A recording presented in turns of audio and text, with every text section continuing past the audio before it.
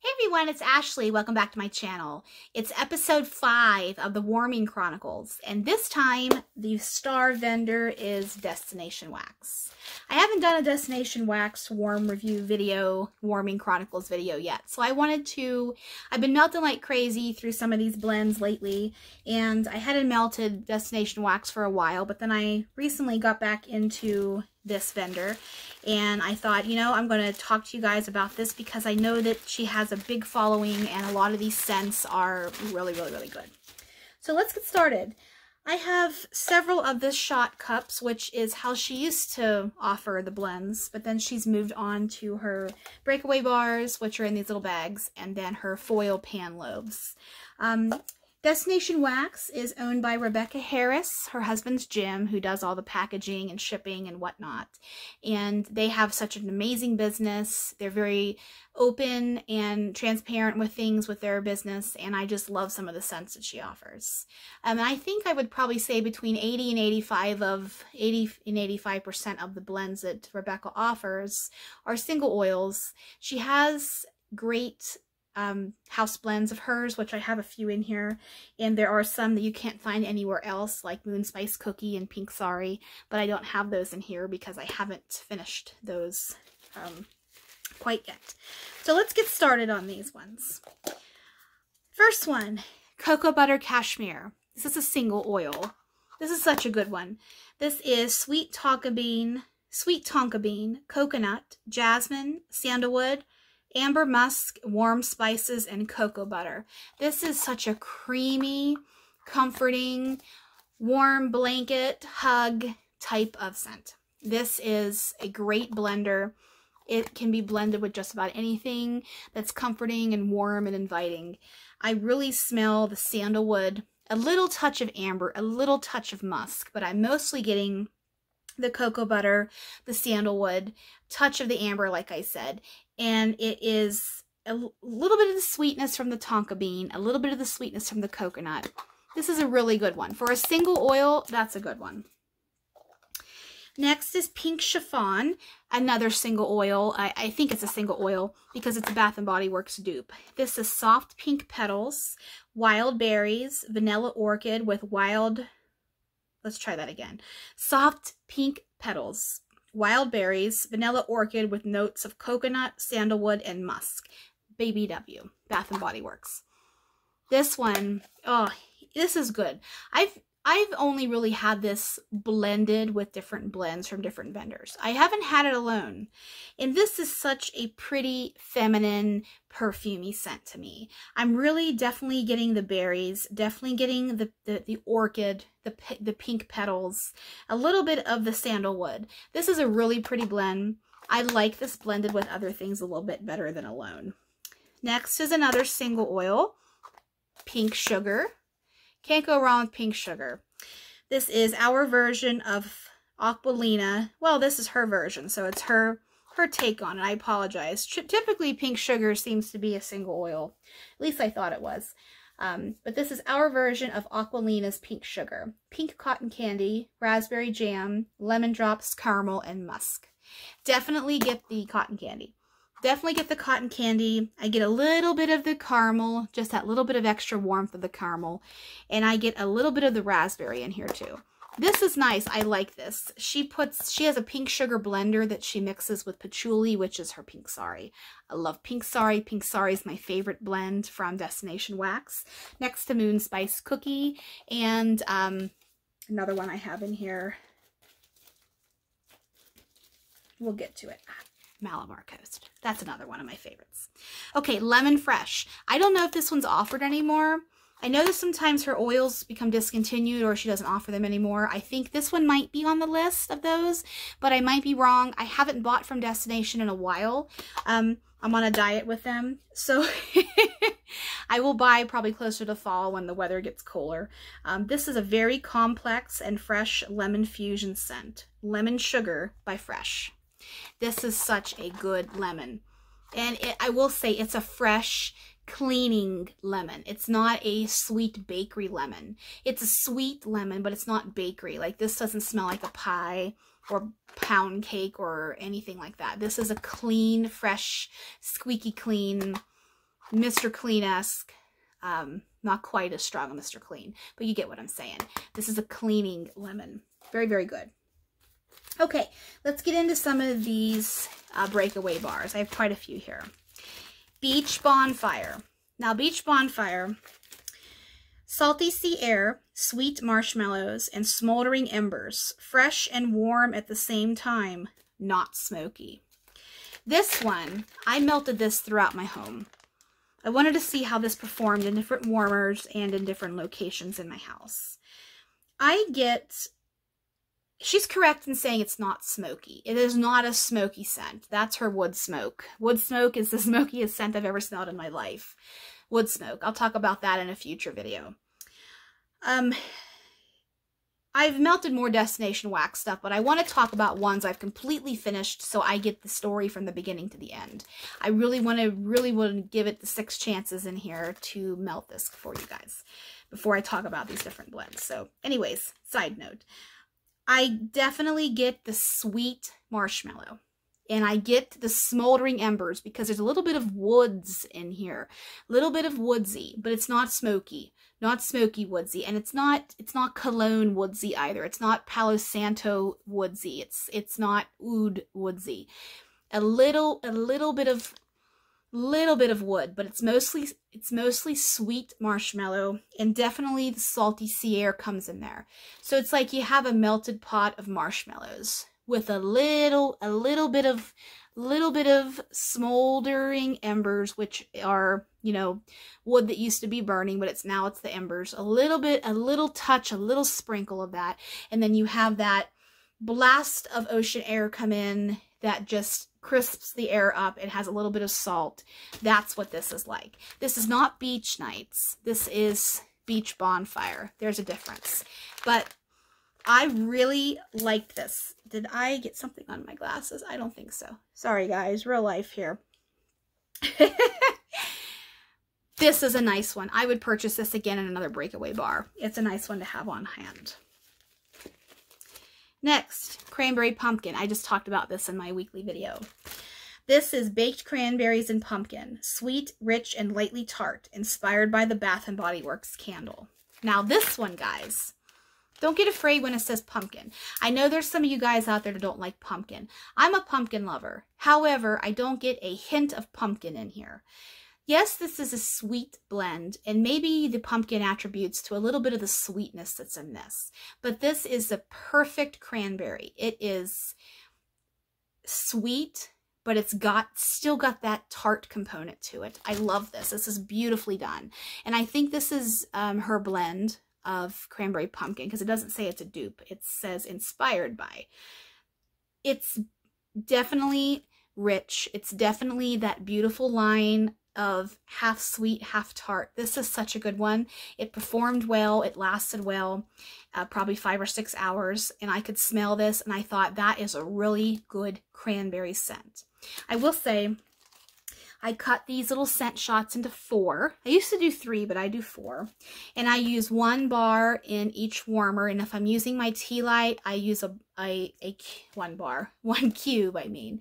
I use a cube and a half in my um, tart burner, uh, my tea light burners because they're a tea light warmers because they're a little bit hotter than the hot plates get. So I wanted to say that's how I use, um, that's what I use, how much for Destination Wax. Next is, oh, this is another amazing blend of hers. Oh, Christmas in Jamaica. I love this one. I love, love, love this one. I think Just Jenny also likes this one too. This is a unique one. Balsam Fir, orange, grapefruit, pineapple, and cranberry. I mean, come on. What's not to love about this one? It's not a air freshener bathroom pine scent yes, there's pine-esque to it. There's the that sticky sap component to it. You got those those fir, not fir, the pine needles to it.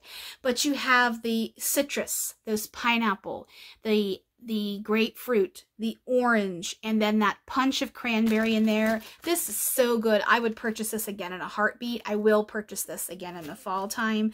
This is such a good scent, but it really, you could use this You could use this all year round, guys. It's just that it's a nice, unique scent that I have yet to smell from any other vendor. This blows you away. It's a really good blend. Love, love, love, love, love that one. Next, Red Pear. And I'm pretty sure this one has been discontinued. I think that uh, on Rebecca's most recent post or something, I saw Red Pear is going bye-byes, along with pear salad and something else. This is juicy, ripe red pear, richer than Bartlett pear and yellow pear. And I and I do agree with that. I just finished this up this past week. It's a mature peach, excuse me, mature pear scent. It's got the, like you bite into a pear, that juiciness, that that maturity of that fruit. It's not it's not quite like an apple where it's crisp and sweet. A pear is a little bit deeper, a little bit more rich. That's what this one is like. And I don't want to love this one too much to you guys because it's not available anymore. Unless by some stroke of luck that it comes back. But I'm pretty sure this one has been discontinued. Next, um, coffee Cocoa Kona Mocha. This one is rich Kona coffee with chocolate, vanilla cream, co coconut, and a bit of cardamom. This was not my favorite coffee scent, and I've melted a lot of coffee scents in my in my time. And this one, I love every single one of these scents independently. Love coffee, love cardamom, love cinnamon, not cinnamon, love cardamom, love coconut, love vanilla, and chocolate. I'm strange with chocolate and wax. I'm not a fan of chocolate and wax. And when I bought this, I thought, you know, I'll try it because it's coffee and it's got a lot of other stuff happening here. But just mixed together, this one was not my cup of coffee. I just, I didn't like this one. I found myself taking this out of the warmer well before it had worn off and I couldn't smell it anymore just because I didn't care for it that much. And um, this is obviously a one and done for me. Um, I can get the coconut and I can get the cardamom and I get the chocolate also coming through there and the coffee. But just that together, it just, it's not my favorite coffee scent. This is a one and done. But if you like it and you enjoy it, I'm so happy that this one makes you happy because I know there are a lot of coffee scents that make me happy that some other people don't like. So I understand. Okay, oh, this is so good. I just talked about this one too. This is Malabar Coast. Warm black Malabar peppercorns overlaid with a light ocean breeze. And how I described this one in my weekly basket video was this is has a very mineral-esque quality to it. It's got a little bit of saltiness to it. Of course, yes, you have the salty sea air or the light ocean breeze, Rebecca calls it in this one. But it's not like a pepper pepper mill where you are cooking and you smell the pepper and you sneeze. It's not like that. You get the sea salty, the oceanic component to it, and you get a little bit of that spiciness from the peppercorn. But this is so well done. It's it is spa-like. It's relaxing. It's cleansing. This is such a good one. I will buy that one again. Very, very, very good. Nutmeg and spices. This is spicy warm blend of nutmeg, ginger, cinnamon, and clove with a little caramel and vanilla. This one was nice. I thought it was kind of weak, honestly. I wanted a little bit more, um, a little bit more of a throw and a little bit stronger. Um, scent from this one. And I will take a moment to say that I love Destination's wax, uh, the Destination wax's texture, the consistency of the wax. But I am finding in my home, in my experience, that the longer that this wax ages, the scent starts to deteriorate a little bit around the year mark.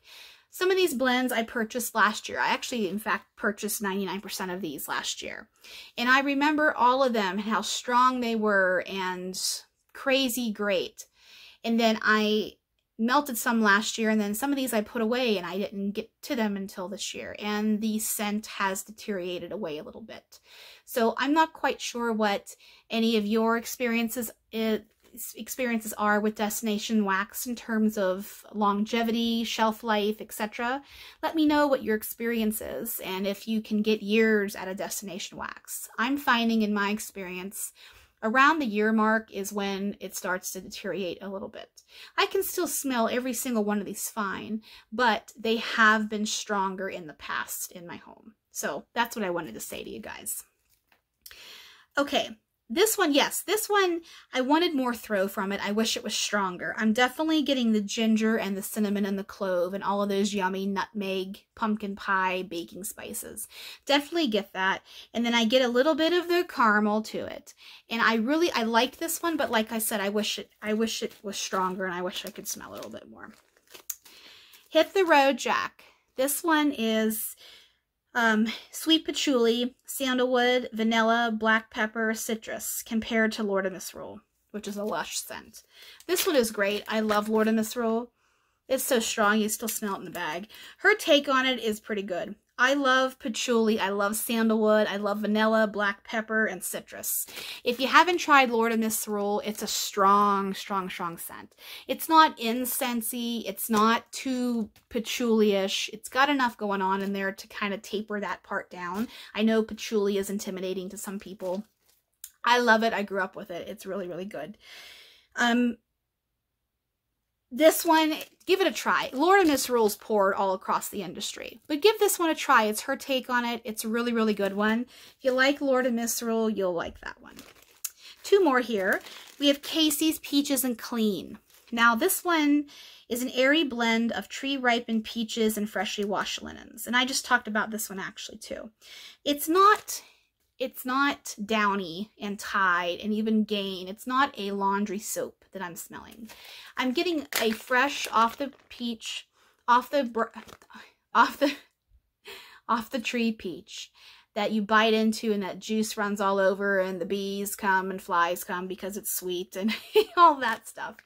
But then you are getting that that clean that clean part of it. And it's not it's not a laundry soap and it's not a fabric softener scent. It's just a clean crisp clean i can't say the word clean enough.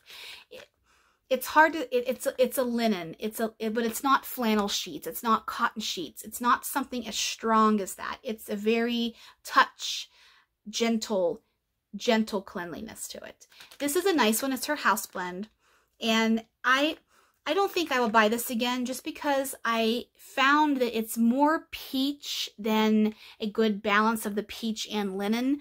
I can smell the linen in here, but I, I wish it was done a little bit differently, a little bit more of linen, a little bit less of peach, if that makes sense. That is how I feel about this one. And finally, another favorite is strawberry seeds. This is sweet and zesty strawberry. This is a great scent. I love this one. I'm having a strawberry moment right now, but strawberry is so versatile. You can blend it with anything under the sun just about, and it'll come out smelling great. This is authentic, nice strawberry like you just get a carton of it, bite into one, and you have that strawberry juice that's right there. It's so good, fresh picked. I almost get a little bit, a little bit of the green, you know, the, the top part of the berry. I get a little bit of that. It's so good. I love this scent. I would purchase this again. That's a good one. So that is episode five, I think this is, of my Warming Chronicles Destination Wax Edition. So I do have a couple more videos of Warming Chronicles to do. I have one in um, L3 and Rose Girls coming up soon. So happy Mother's Day to everyone. Hope everyone had a great weekend, and I'll see you soon.